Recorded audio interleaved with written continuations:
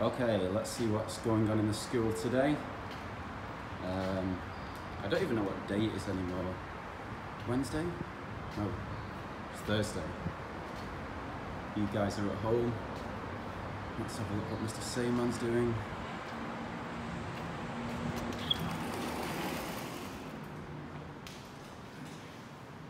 Hey. I'm making a video for the students at home. Oh yes. Made in Malacca. World Heritage Site. Okay, Yeah. let's go and visit Miss Jackson. Okay, enjoy. Goodbye, Mr. Sayman. Next. Yes, says Miss Jackson. I was doing a, a video tour for the students. Let's go and see what's going on upstairs.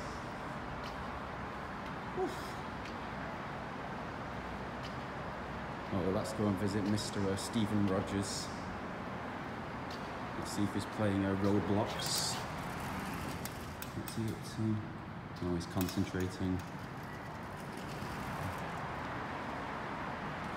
Whew. Well, the library's busy. Oh, I might win a game of table tennis today. Me against me. Keep to the left hand side. To the right hand side, oh what a rebel. Go back to the left. Follow the rules. Left, left, left, oh right, oh crazy. Let's go and see what Miss P's doing. Oh, there's Miss P. I'm making a video diary for the students. That's do. Let's spy on Mr. Conroy there. What's he up to? Oh, he's avoiding us. Miss Liu. Oh, no, that's not Miss Liu. Miss Liu in there. All right. Ah, this driving me to insanity. It's like a ghost town here. Nope, no one down there. Let's go and have a look. Let's see what's going on.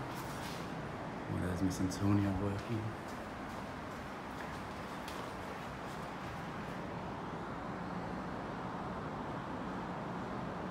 There's Mr. Matt. There's Mr.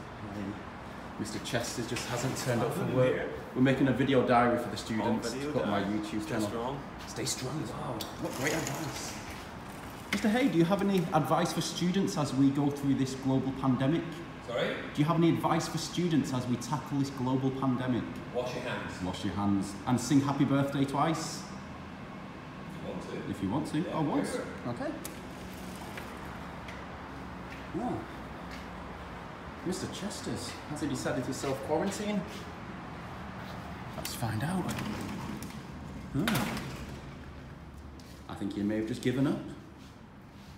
Well, in that case, that's a good time to finish this video. Goodbye, and as Mr. Hay said, stay safe out there. Or was that Mr. Matt? I don't know anymore.